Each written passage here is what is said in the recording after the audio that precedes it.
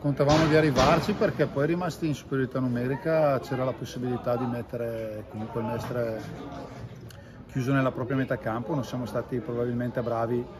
nel capire il momento della partita dove certe palle dovevano essere giocate con più velocità e lucidità soprattutto. Era un momento in cui loro comunque anche con palle giocate direttamente sulla punta facevano fatica ad ostacolarci e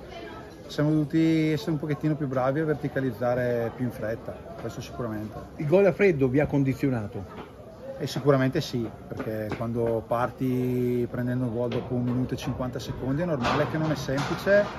stiamo continuando a commettere gli stessi errori di attenzione dove tutte le volte poi prima di entrare veramente in partita dobbiamo prendere due schiaffi forti e poi la reazione c'è, il problema è che le partite non possono iniziare sul 2-0 per gli altri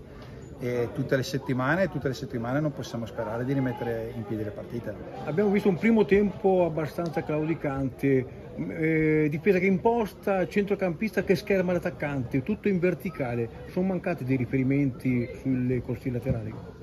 Sicuramente siamo mancati in qualcosa lì e soprattutto perché in settimana avevamo lavorato tanto su quelle, che, su quelle situazioni dove, dove pensavamo di poter mettere il Mestre in difficoltà, quindi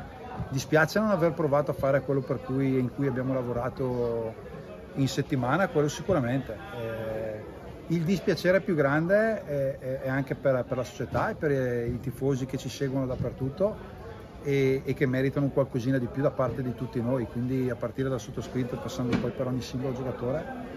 dovremo essere bravi a fare molto molto di più perché questo non basta.